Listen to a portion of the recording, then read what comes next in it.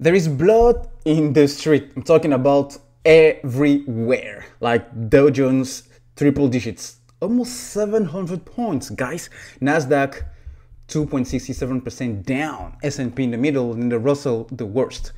Like everything is just red two days in a row. I mean, these prices bring us back to where we were in January without any vaccine. Okay, and interestingly enough, AMC is still up talking about 2.5%, more than 2.5%.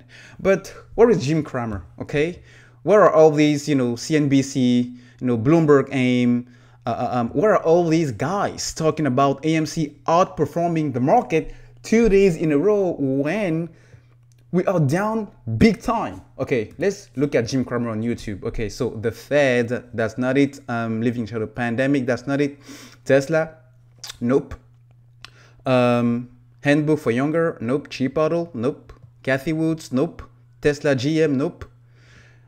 I mean, I don't see it, guys. If you go to the articles on AMC, um, nobody's talking about that, right? Nobody's mentioning how AMC is currently outperforming the market. I mean, guys, look at this. For seven straight days, we are going back up. So it just tells you how the media works, right? How these guys, you know, they only bitch about the news when it's bad in order to tell or to give the impression that everything is kind of going worst. And uh, when everything is kind of actually working fine or better than expected, like AMC outperforming the markets, you know, there is no one left to actually look at what is happening. So, guys, um, again, we have to hold the line actually that's what i'm gonna do personally. So